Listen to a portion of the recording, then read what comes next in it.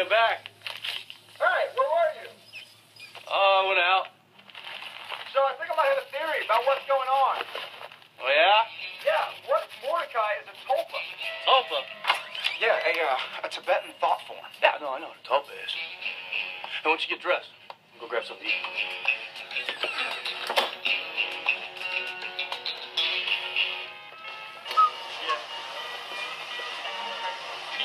Thank you.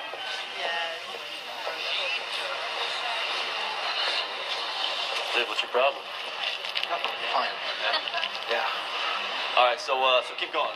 What about these tulpas? Okay, uh, so there was this incident in Tibet in 1915. A group of monks visualize a golem in their heads.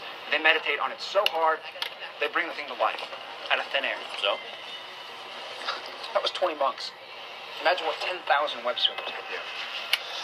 I mean, Craig starts the story about Mordecai, then it spreads, goes online. Now there are countless people all believing in the bastard. Okay, wait a second. You, you're trying to tell me that just because people believe in Mordecai, he's real? Oh, know, maybe. People believe in Santa Claus. How come I'm not getting hooked up every Christmas? Because you're a bad person. And because of this.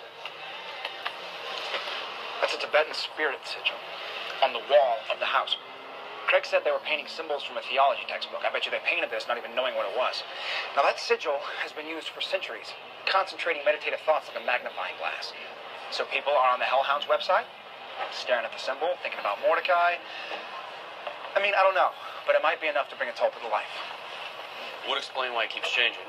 Right. As the legend changes, people think different things, so Mordecai himself changes, like a game of telephone. That would also explain why the rock solvers work.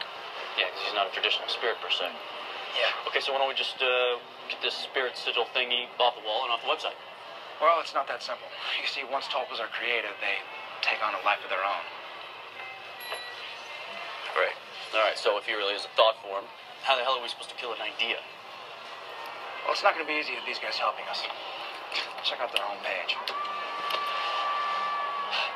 Since they posted the video, the number of hits have quadrupled in the last day alone. I got an idea. Come on. Where are we going? Need to find a copy store. Man, I think I'm allergic to our soap or something. you did this? You're a friggin' jerk. Oh,